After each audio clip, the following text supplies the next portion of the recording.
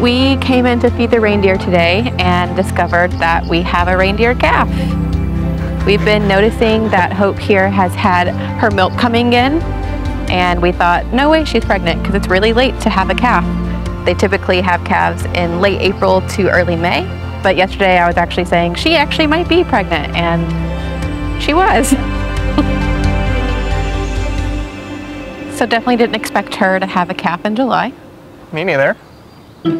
As soon as we see a calf, we immediately call Howie, just let her know, hey, we have a baby. All staff, just so everyone knows, we have a reindeer calf on the ground. This calf is absolutely adorable.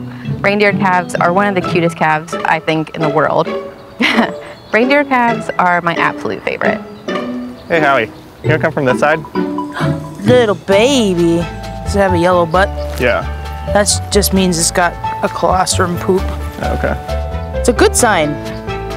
The biggest key we're looking for with that calf is we want to see it stand up. It needs to get that first suckle, that first bit of milk, because it's full of all the antibodies for that calf to survive. It's called colostrum. It's actually kind of a yellowish tinted color milk and produces the same color going out. So who's the daddy? I really think Chuckles could be the father. Chuckles is our halter trained big bull. You can always spot Chuckles when you're looking at the reindeer herd because he has the biggest, most extravagant antler set in the group. Chuckles hasn't actually been used for breeding over the years, but maybe Chuckles did get the job done. Wrong spot, girl.